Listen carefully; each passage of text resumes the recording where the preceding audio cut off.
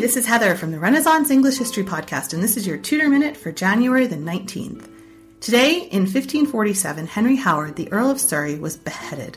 He had been close with Henry VIII's illegitimate son, Henry Fitzroy, and he had been a high favorite in court.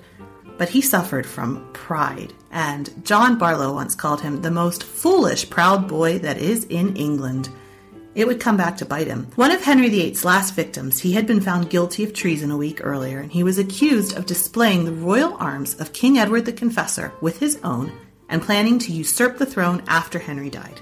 His father was also sentenced to death for the same crime, but he escaped his punishment because Henry VIII died before it could be carried out.